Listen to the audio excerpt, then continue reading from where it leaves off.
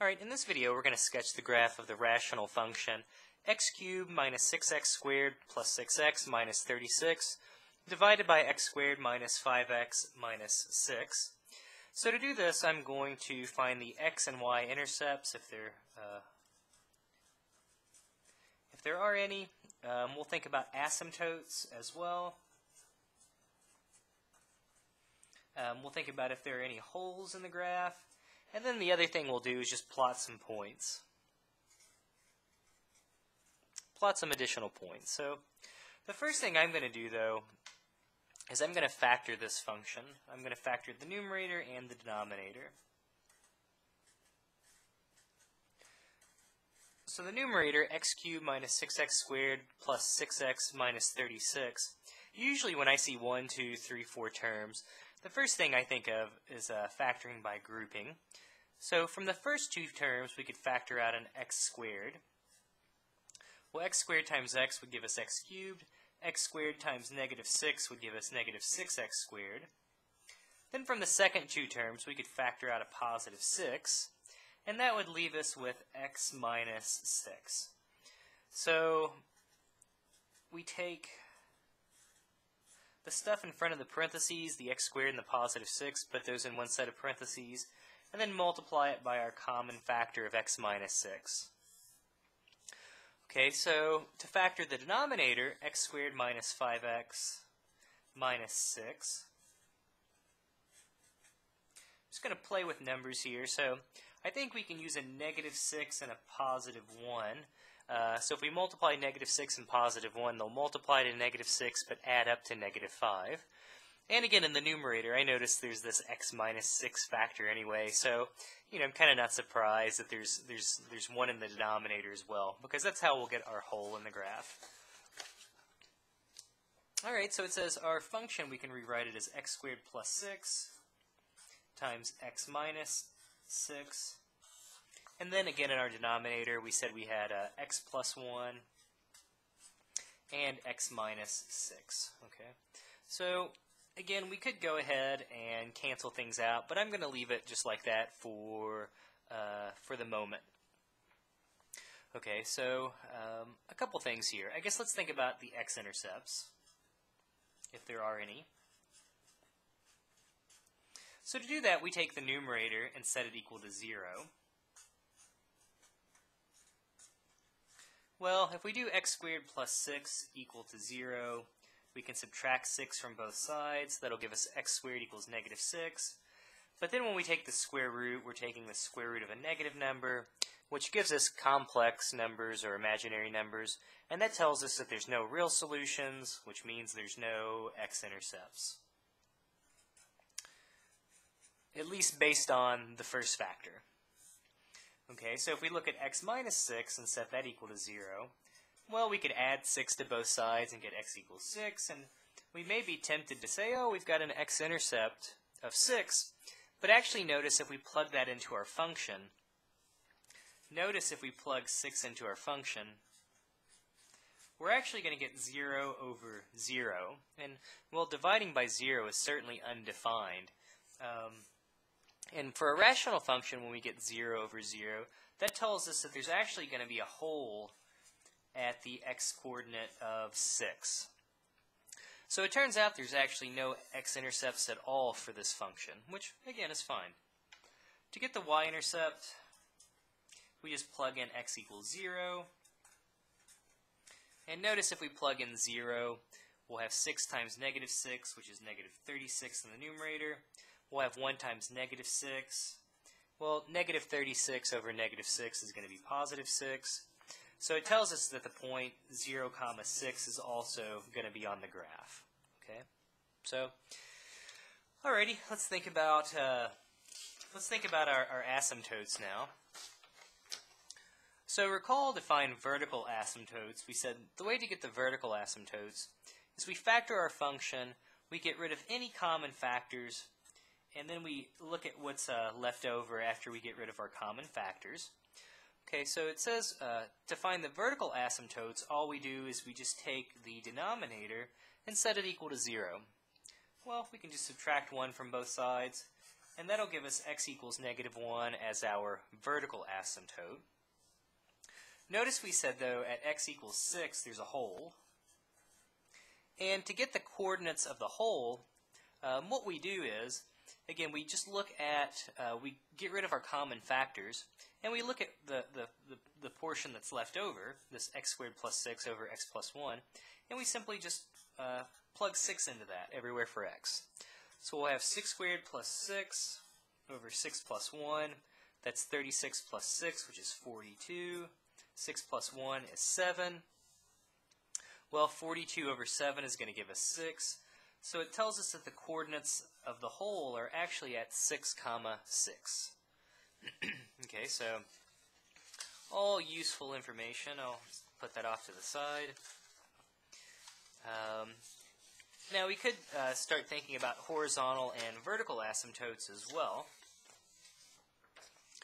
Well, for horizontal asymptotes, notice that there's not going to be, there's no horizontal asymptote in this case because the degree of the numerator is larger than the degree of the denominator. Okay, so when that happens, there's no horizontal asymptote.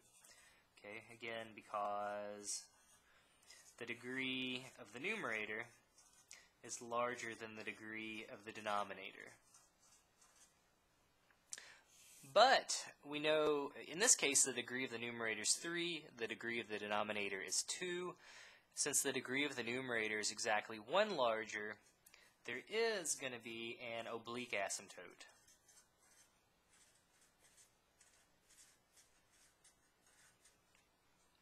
Okay, so to get the oblique asymptote, we'll have to do long division. We could do long division on this function, but there's no reason to do that. It'll take a couple extra steps. You know, after we factored and got rid of our common factors, we were left with x squared plus 6 over x plus 1, and that's what I'm going to do the long division using, x squared plus 6 over x plus 1. So I'm going to write that as x squared plus 0x plus 6, again dividing by x plus 1. Alright, well, let's see. x times x will be x squared. So if we distribute, we'll get x squared plus x. Again, we have to subtract everything. So that'll leave us with negative 1x. We can drop down our positive 6. So x times negative 1 will give us, well, negative x. We'll have minus 1 when we distribute, our negative 1. And if we uh, do the subtraction, it looks like we'll be left with positive 7 as our remainder. So again, what it says is, it says we can write uh, x squared plus 6 over x plus 1. It says we can write that as x minus 1 plus 7 over x plus 1. So again, just doing a little bit of algebra to break up our function. But again, all we do is we just look at this linear part to get our oblique or slant asymptote. So it says y equals x minus 1 is going to be the oblique asymptote.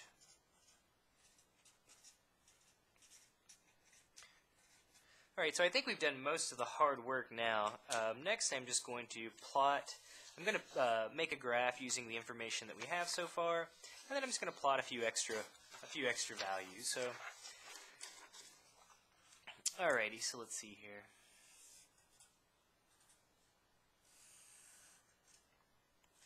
So 1, 2, 3, 4, 5, 6. 1, 2, 3, 4, 5, 6. Okay, so again, going to be clearly a, a, very little rough sketch here. So we said 0, comma, uh, 6 was going to be a point on our graph. That was our, our uh, y-intercept that we found from a second ago. Right, we said there's no x-intercepts, so there's our, our point 0, 6. No x-intercepts. We said the vertical asymptote was at x equals negative 1. So let's put that on there. We said there's going to be a hole at 6 comma 6. So there's a 1, 2, 3, 4, 5, 6. So we'll put our hole right about there. Um, we set our slant asymptote. The slant asymptote was y equals x minus 1. That's what we found just a second ago. Okay, so that's a line that would uh, intersect uh, the y-axis at negative 1 and have a slope of 1. Notice if we plug 6 into our line, we would get 5, so it should be a little bit underneath of the, uh, the hole there. Alright, so um, again, all I'm going to do now is just plot a few extra points and uh, keep my fingers crossed that my my graph is correct. Okay. Again, you know, you can always plot more points to get a better graph. So I guess a couple values to plug in. Let's see. I'm going to plug in negative 2 since that's close to the asymptote. I think I'll plug in negative 1 half as well. Um, and then I'm just going to plug in maybe 5 and 7 as well. Just a few extra points. So let's see. I'm going to look at when we uh, had it as x squared plus 6 over x plus 1. Again, in this simplified form, I'm going to look at it in this form. So let me call this g of x. I forget what we were calling it originally, but um, so let's see. If we plug in negative 2, we'll get negative 2 squared, which is 4 plus 6. That'll be 10. Um, negative 2 plus 1 is negative 1. So it looks like we'll be left with negative 10. When we plug in negative 1 half, um, again, just plugging it into this function, negative 1 half times negative 1 half is 1 fourth plus 6. Negative 1 half plus 1 is going to be positive 1 half. And well, dividing by 1 half is the same thing as multiplying by 2. So if we distribute the 2, we'll get 2 fourths, which is 1 half. Uh, 2 times 6 is going to be 12. So it looks like we get 12 and a half when we plug in negative 1 half. When we plug in 5, let's see, 5 squared is going to be uh, 25 plus 6 is 31. 5 plus 1 is going to be 6. So it looks like we get 5 and 1 sixth. And last but not least, let's plug in um, Let's plug in 7. So 7 squared is going to be 49 plus 6 is going to be 55. Uh, 7 plus 1 is 8. Let's see, 8 goes into 55 six times with 7 left over. Alright, so a few extra points here. Um, let me find my beautiful graph. And again, we'll just, uh, again, you can always uh, put in more points to get a better graph. So Negative 2, negative 10 is roughly down here. Again, the graph would have to go down to negative infinity. It can't go up to positive infinity because then there would be an x-intercept. And so somewhere it's going to have to start getting close to this asymptote, so we'll assume maybe it just looks something like that. At negative 1 half, we're up here at 12.5. I'm not going to count it all off. We'll just put it somewhere right about there. Um, let's see. So the graph's going to have to go up to positive infinity. There's our y-intercept that we found. Let's see, um, on our line this would be 5, 4. So we said the point 5 and 1 6 is on there. So it's going to be right through there. So maybe it dips down a little bit. Goes through the hole 6 comma 6. So there's our hole in the graph. And then at 7 we're at 6 and 7 8. So and then it's going to start approaching again that asymptote eventually. So, all right, I think we've got a decent little rough sketch now of our of our function. So again, kind of long, a lot of steps, but again, a lot of it, you know, one key thing is to factor, and then use that uh, simplified, you know, use that that easier simplified form like we did. Right, we factored it, and then we looked at that. Uh, you know, that function x squared plus 6 over x plus 1, use that to do the long division and things. That'll make your life at least a little bit easier.